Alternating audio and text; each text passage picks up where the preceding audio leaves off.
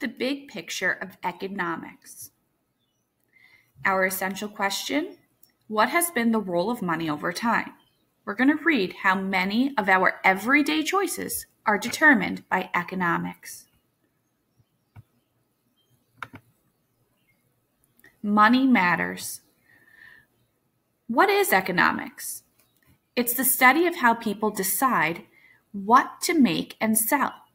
It's also the study of why people buy some things and not others, and of how items reach the marketplace, the place where people shop.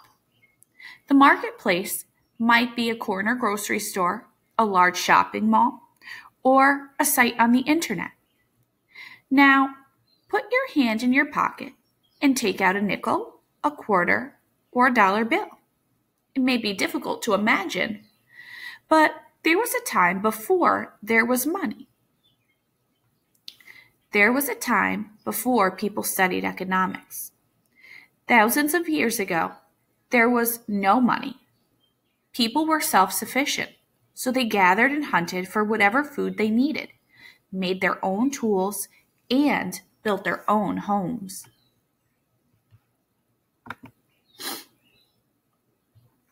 Some people were good hunters, and others were better at making baskets and clubs.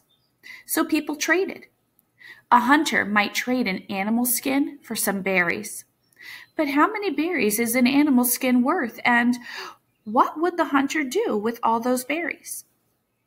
People needed money, something that everyone would be willing to take in a trade, and that could also be used to get the things they needed.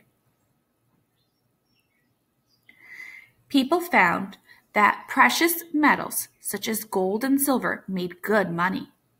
Pieces of gold and silver came in all sizes, and you could weigh a piece to know how much it was worth. Then coins were made. Coins didn't have to be weighed because people knew each coin's weight and how much it was worth. A pocket full of coins is heavy, so paper money was invented. The first paper money was a printed promise that could be exchanged for gold or silver coins. Today, few countries make gold and silver coins, but paper money has value because you can use it to buy gold or silver. You can use it to buy bread, shoes, and other things too. So take a moment and think why do people exchange money instead of berries and or animal skin?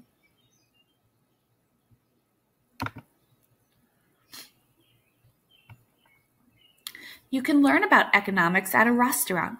In a restaurant, you'll see a menu with lots of things for sale. Each item has a price, which helps you decide what to buy. You may not be sure whether you want a hamburger or a tuna sandwich. If you're really not sure, you might buy the one that costs less. Of course, the greater the difference in the prices, the greater the chance you'll buy what's cheaper. If a hamburger costs a dollar and a tuna sandwich costs $10, it's likely you'll buy the hamburger. Price might even convince people to buy something they didn't really want. Suppose you are in a restaurant and you are hungry for a tuna sandwich. You see the prices on the menu and realize that if you buy a hamburger instead of a tuna sandwich, you'll sit, you'll have money left to buy a salad and pudding price might convince you to buy a hamburger instead of a tuna sandwich.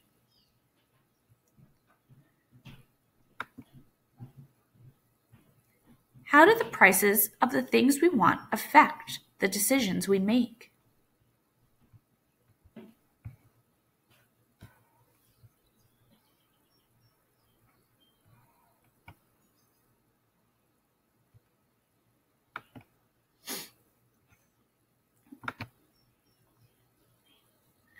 Now, suppose you are walking past a restaurant.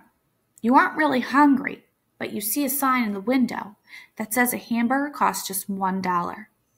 At that price, you might decide to buy one. Of course, a high price would have the opposite effect. It might convince you not to buy something you really want. Suppose you are in a restaurant and you're really hungry for a tuna sandwich. You see that a tuna sandwich costs $10 and you really want a tuna sandwich and not a hamburger. At $10 for a tuna sandwich, you might decide to leave the restaurant and go to a grocery store where you can buy a can of tuna fish and some bread and make your own sandwich. Price might help someone decide what to make and sell. Suppose you and your friends are walking through town and are suddenly thirsty. You search and find there's a scarcity of places in your neighborhood to buy a drink. Scarcity leads to opportunity, and you decide to start your own business. To become an entrepreneur, you will set up a table in front of your house and sell drinks. Now you must decide what to sell hot tea or ice cold lemonade. It's a hot summer day, and lots of people would be willing to pay a dollar for a small cup of cold lemonade. Few people would be willing to pay even a dime for a cup of hot tea. You'll probably decide it's to your benefit to make and sell lemonade. It's to your benefit to make what people are anxious to buy. Before you set up your business, you'll have to invest in lemons, sugar, and paper cups you'll have to spend money even before your very first transaction, your very first sale. You'll spend time making the drinks, and that time is a cost too. It's your opportunity cost. During the time you're making lemonade, you've lost the opportunity to do something else. The lemonade you make is your merchandise. It's your supply and the people who come to buy it are in demand.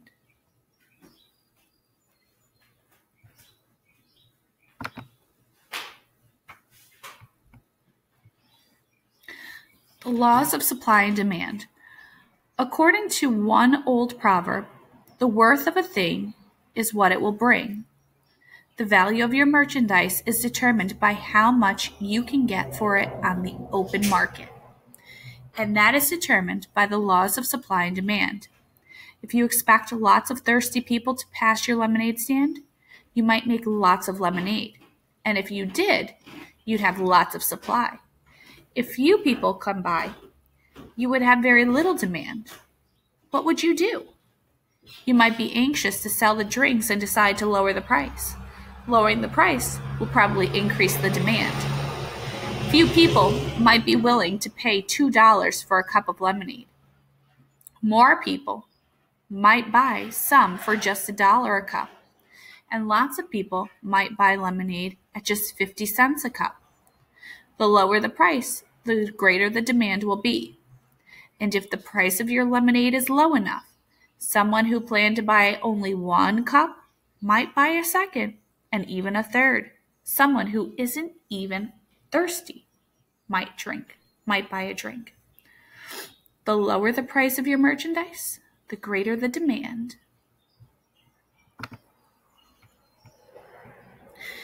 If you only bought a few lemons and made just a small pitcher of lemonade, you would be you would have very little supply.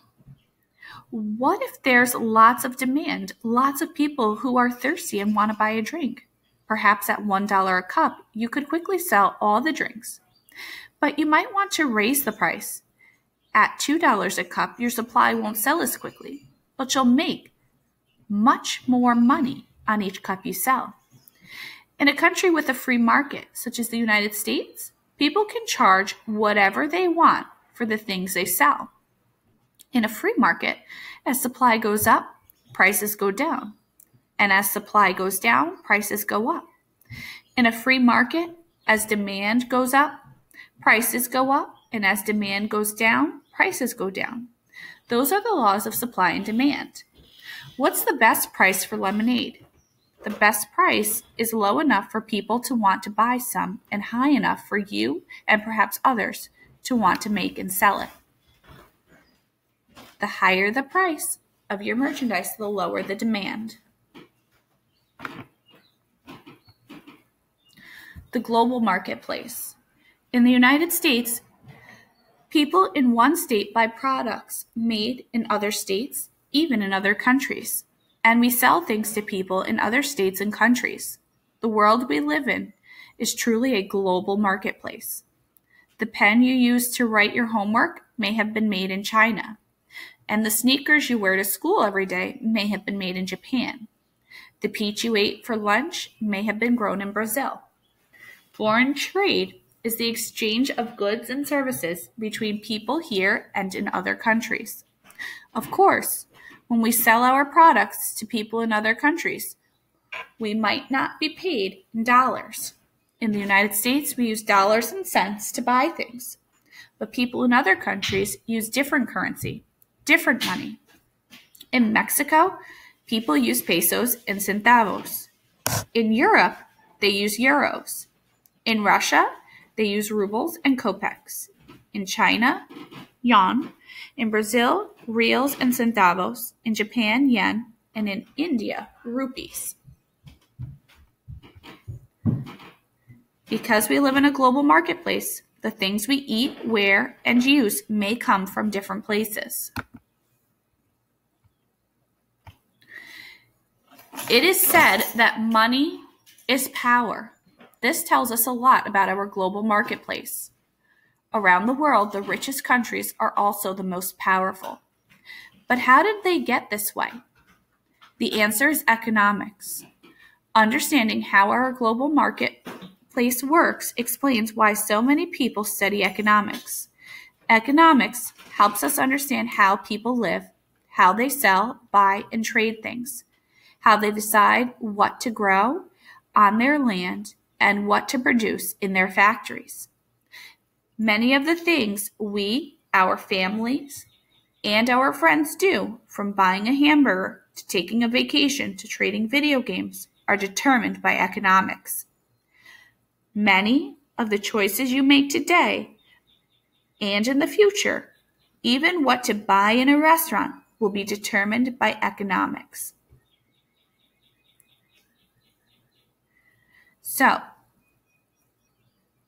the overall value of a country's total goods and services is its GDP, or gross domestic product. It is usually calculated annually. So countries with the highest gross domestic product from 2010 was the USA, then China, Japan, India, and Germany. And off to the left, we can see the trillions of dollars.